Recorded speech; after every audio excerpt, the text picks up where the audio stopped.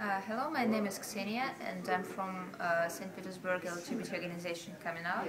So I'm living and I'm working in the city where this terrible law was adopted.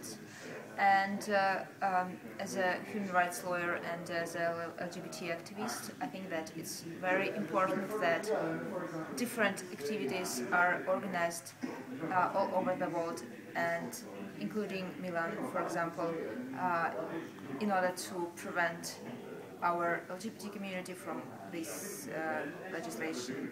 And it's very important that uh, our politicians could see different kinds of uh, responses to this law.